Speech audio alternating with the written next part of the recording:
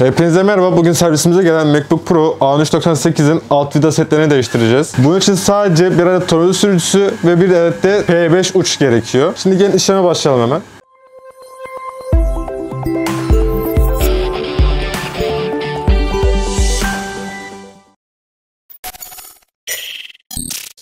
Şimdi şöyle vidalarımızın hepsi genellikle yalama olmuş ve bayağı bir eksik vidamız da var. Vidalarımızı çıkarıyoruz hepsini.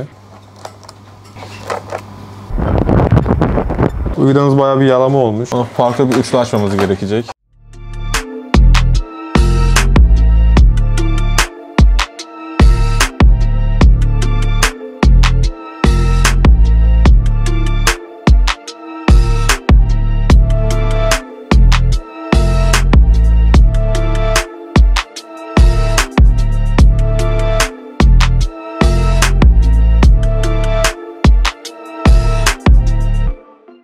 Bir işlemin daha sonuna geldik. Çıkan vidalar burada.